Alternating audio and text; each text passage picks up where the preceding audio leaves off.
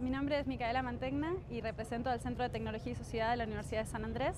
donde estamos desarrollando o impulsando la creación de un área de investigación sobre inteligencia artificial y propiedad intelectual. Eh, son varios desafíos que hay que atacar, pero creo que el primero está, pasa por la visibilidad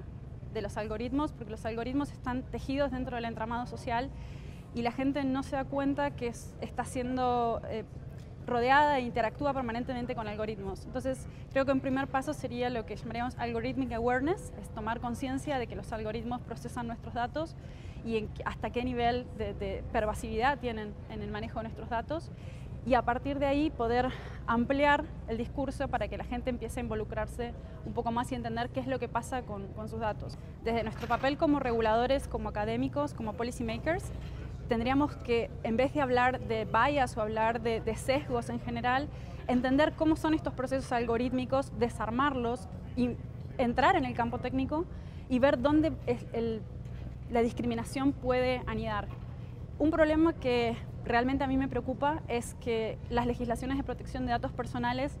eh, mayormente hablan de retirar datos o de derechos de retirar datos y que eso puede impactar negativamente en el hecho de que alguien se encuentre eh, sin representación en el resultado final. O sea, la medida en que un algoritmo tenga, los algoritmos funcionan en base a datos, si no tienen esos datos para funcionar, el resultado final puede ser mucho más perjudicial para la, persona cuya clase se ve eh, no representada.